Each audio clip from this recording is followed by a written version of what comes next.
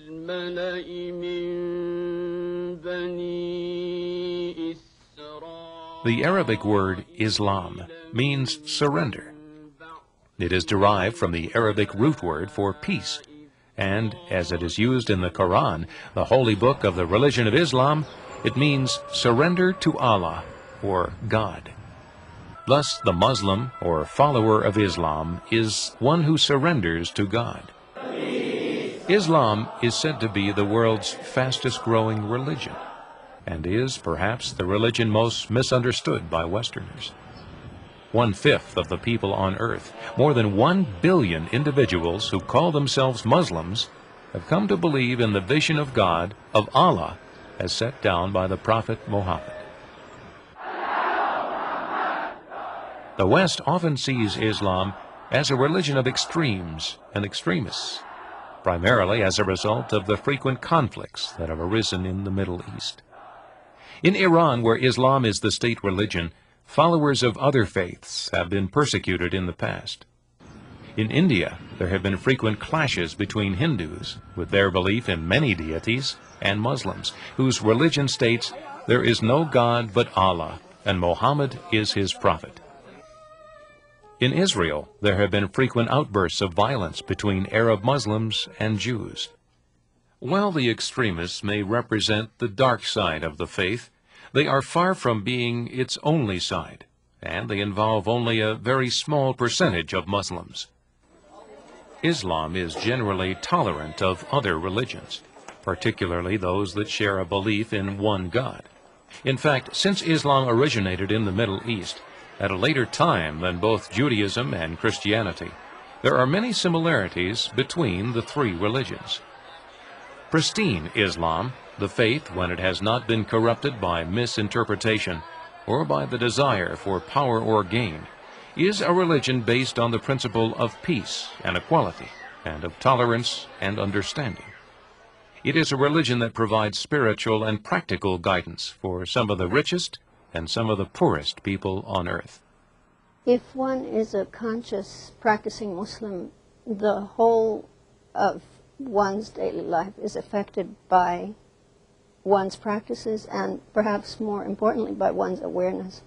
Because um, a conscious Muslim will live with a constant awareness of responsibility to God and of the fact that this life is not a, a, a permanent place to be. We're going on from this life to another life, and that's what we're aspiring for. And we're hoping to do something during the course of our life, day by day, hour by hour, that will please our Lord and bring us closer to Him and um, will guarantee us some sort of a satisfactory position in the next life.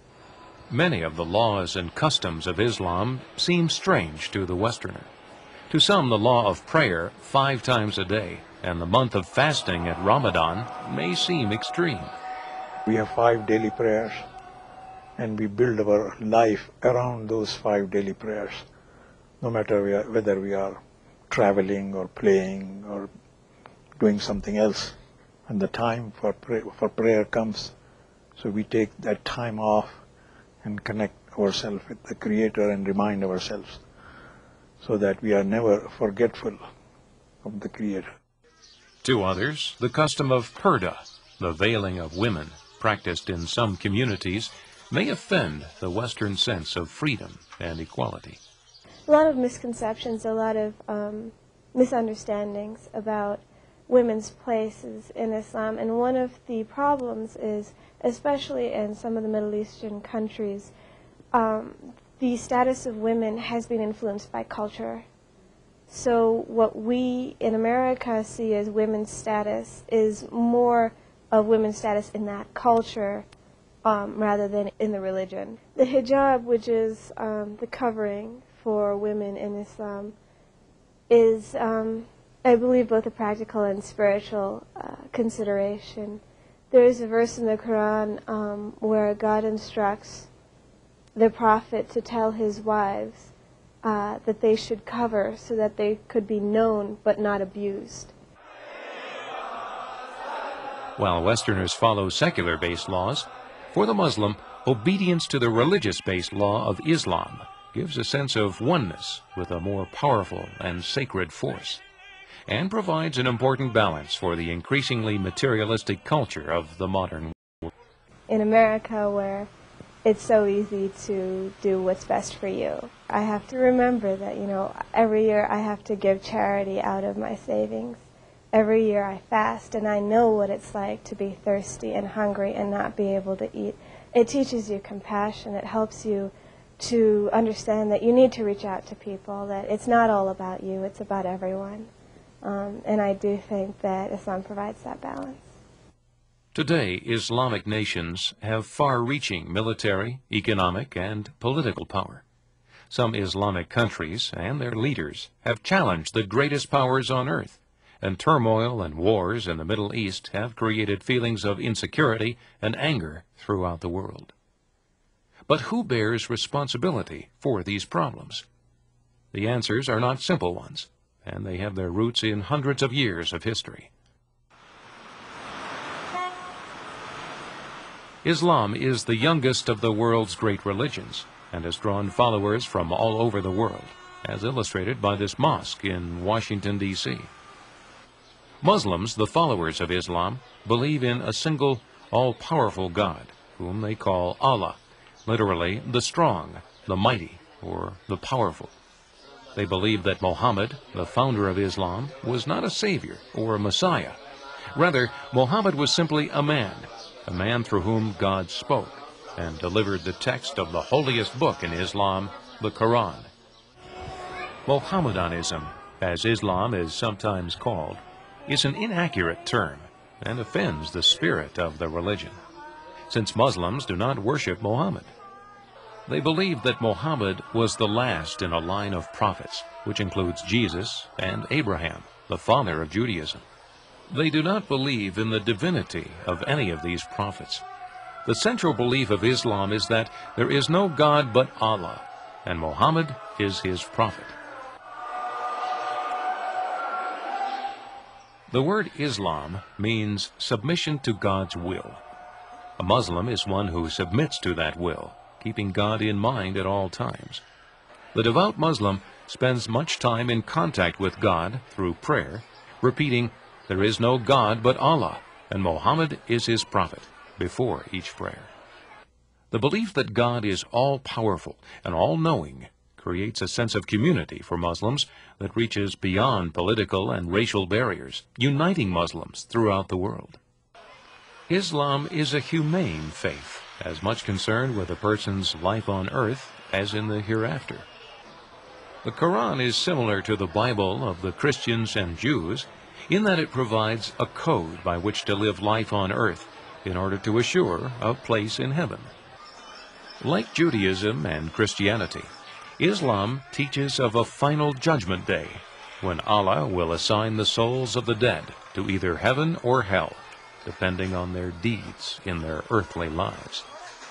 It dictates that followers shall care for those less fortunate than themselves by giving alms to the poor.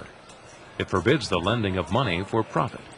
It sets out rules governing family and business. The Quran provides guidance for every phase of a Muslim's life.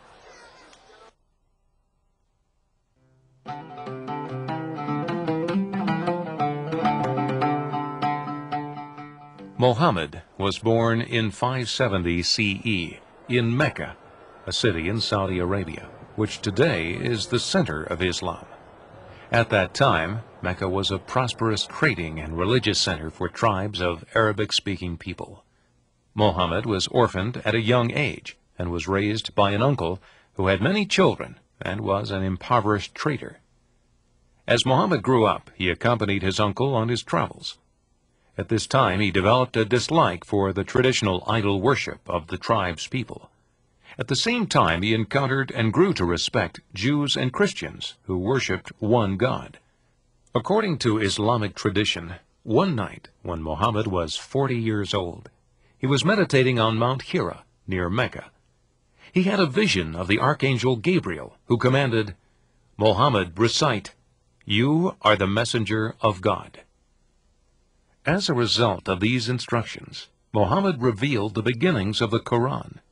Since he could not write, he communicated the teachings orally to all who would listen. Muhammad's revelations continued for the next 23 years, starting a religion that would change the course of history. Muhammad would often stand in the streets, reciting line after line of God's message to him. The people of Mecca worship idols and did not like the fact that he denounced their long-held traditions and threatened to take his life. In 622 CE, he fled to a more tolerant city to the north, now called Medina the city of the Prophet. During his ten years at Medina, Muhammad laid the foundations of Islam, a religion that today is followed by one out of every five people on earth. Several years later, in 630 CE, he led 10,000 of his followers back to Mecca, which was captured with very little resistance. Mecca became the religious center for Muslims worldwide. Two years after this, in the last year of his life, 632 CE, Muhammad led a great pilgrimage to Mecca. In his final speech to the Muslim community, he urged kindness and respect toward others, especially women. There's a saying of the Prophet where uh, someone came to him and said, I want to give charity, but I don't have any money.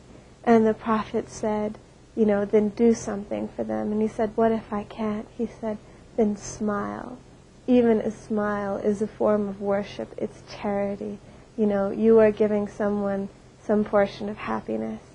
Um, and I find that that kind of uh, philosophy on life just amazing. And the Prophet is, is truly a role model. His life is an example for all Muslims everywhere.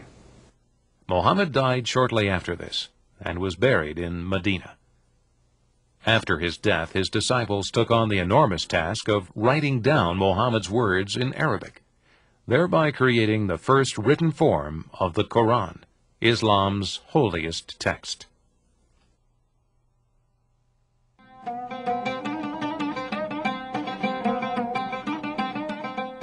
Following the death of Muhammad, the Arabs began to conquer and convert the countries around them. Within three years, from 636 to 639 CE, Palestine and Iraq, Syria, Mesopotamia, and Egypt all fell to Muslim conquerors. Generally, the conquerors were tolerant of existing religions, particularly the monotheistic Judaism and Christianity, and did not force Islam on their subjects. From this time onward, the faith and its influence spread rapidly, and in less than 50 years, half of the known civilized world, from Spain to the borders of China, was in the hands of Muslims. In the 9th, 10th, and 11th art, architecture, and science flourished in centers of Islamic culture. Drawing on the diverse art forms of the lands conquered, a truly brilliant civilization developed. The faith continued to be spread all across Asia and to the islands of Indonesia by wandering Sufis, the mystics of Islam, and by Arab traders who brought their religion as well as their goods to distant lands. Sometimes the traders would marry local women and then have their children brought up as Muslims. In this way, Islam continued its spread.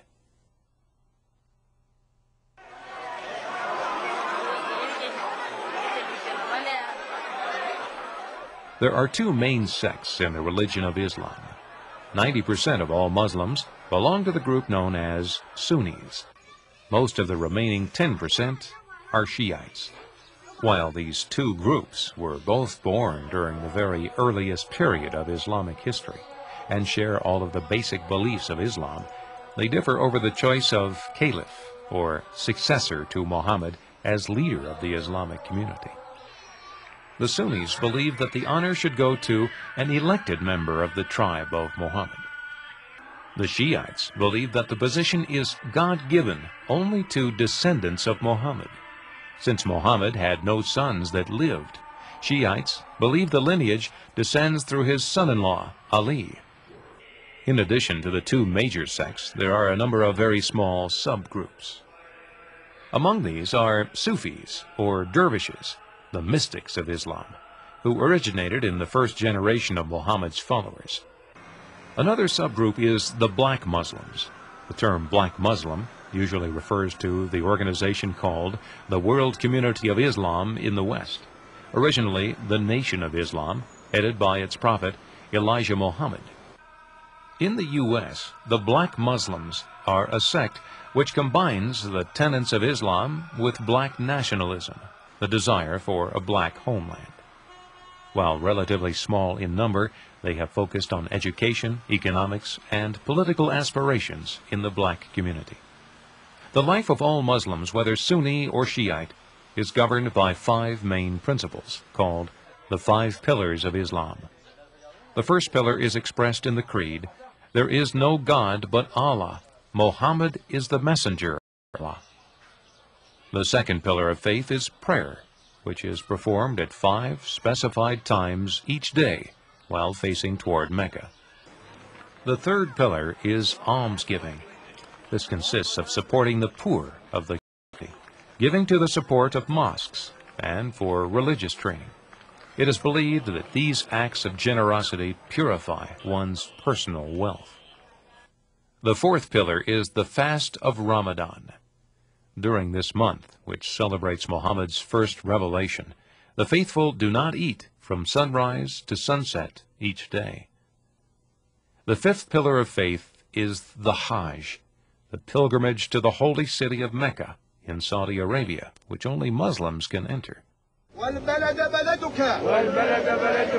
It is very important for devout Muslims to attempt to make the pilgrimage to Mecca at least once during their lifetime, no matter where they live. Here they perform certain prescribed rituals, such as wearing the pilgrim's white seamless garment, which symbolizes the equality of all Muslims. While in Mecca, there is no visible difference between Muslims from different nations or from different social or economic groups. Their common religious purpose dissolves any distinctions between them. They relate to each other as equals, all seekers of God. You feel, you know, you're one of this uh, whole uh, world, the world full of people there. There may be kings, there may be uh, professors, there are doctors, engineers, and ordinary people, they are uh, uneducated, illiterate, and they are all have one purpose there, to stand in front of God as one to one, one to one. There's nobody in between you and your God. The Kaaba, an ancient holy place, which Muhammad captured from Arab pagans and dedicated to Allah, is the holiest shrine of Islam. The Kaaba is draped in a sacred carpet, the Kiswa, which is renewed each year. Pilgrims walk seven times around the Kaaba and kiss the black stone mounted in its corner as a sign of their devotion. For Muslims, there is no greater joy than who have completed the Hajj. This pilgrimage to Mecca is considered to be their life's most sacred duty. The five pillars of Islam give support to the lives of the followers of Islam and provide regular practices through which religion becomes part of daily life.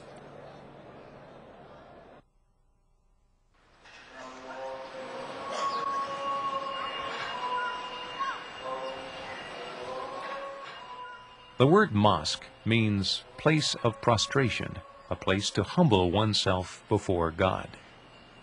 The mosque has no religious focal point other than the mihrab, or niche, which indicates the direction of Mecca, and thus the direction the faithful should face while praying. It has no furnishings except for prayer mats or rugs. There is no formal clergy in Islam, no person to stand between the worshiper and God.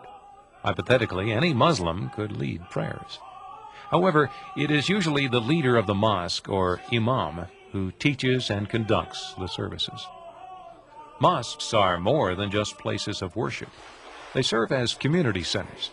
Here in Ajmer, India, tea is made for the more than 2,000 people who are fed at the mosque each day. Often, schools are found in mosques.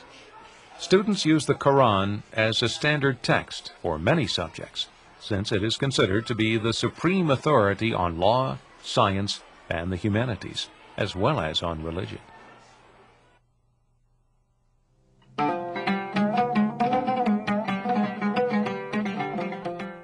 Much can be learned of the traditions of Islam by examining some of its rich artistic heritage. Islamic art grew from the blend of ideas which came from many cultures, which were absorbed during centuries of conquest. However, the influence of the religion, which is the most important of all of the elements in Islamic art, always predominates above all else. One of the expressions of Islamic art is seen in the Arabic language itself.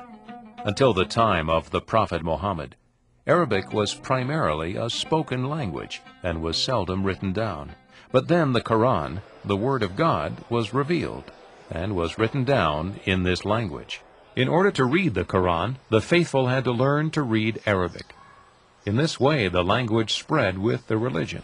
Since Arabic is the sacred language of the Quran, the Word of God, its script is treated as a visual art of the highest order.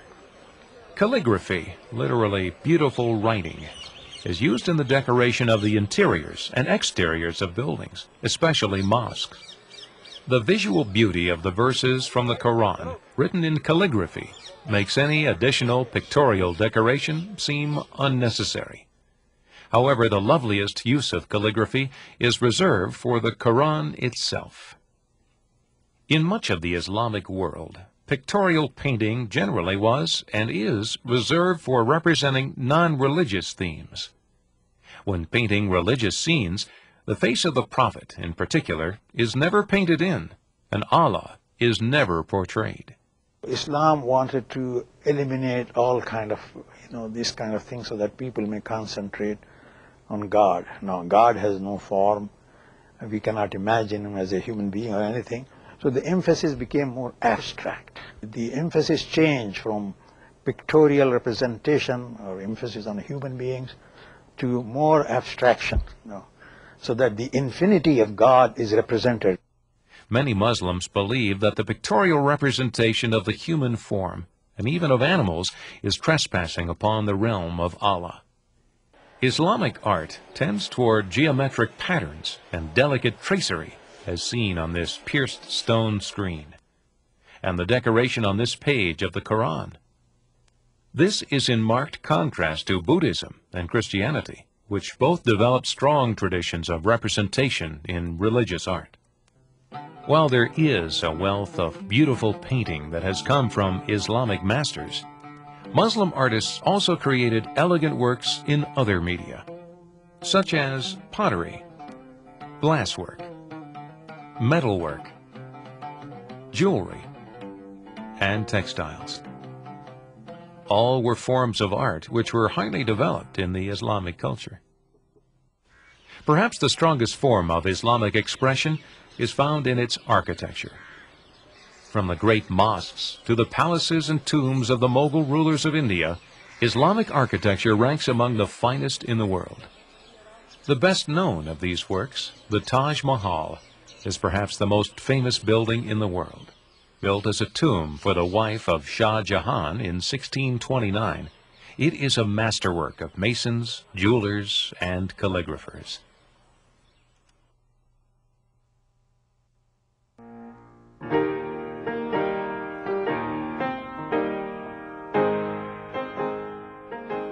During the 18th and 19th centuries, there were large declines in the political and military fortunes of Islamic society. By 1850, Europeans dominated all three of the great Muslim empires, the Ottoman in Turkey, the Mughal in India, and the Persian in Iran. The Renaissance, the discovery of the New World, and the Industrial Revolution combined to give Europe the strength to bring much of the Islamic world under its influence. This colonial domination caused a great crisis in the Islamic world. During this time, Muslims began to doubt the power of their faith and their place in the world. The British and the French were in control of Egypt and North Africa, areas which were very steeped in the Islamic religion, its culture, and tradition. The British established themselves in southern Arabia and the Persian Gulf to protect the trade route to India. The Dutch controlled Indonesia, and the British held Singapore. The situation was intolerable to people who for so long had been the proud rulers of so much of the world. By the end of the 19th century, an Islamic renaissance had begun. It did not gain much momentum until the period between World Wars I and II. After World War II, one previously colonized country after another achieved independence. And today the colonial system has disappeared from the Islamic world. In spite of this, some of the resentment and anger against the West found in Islamic countries dates from the colonial era, and wars continue to break out in the name of protecting the religious beliefs and culture of the Islamic nations.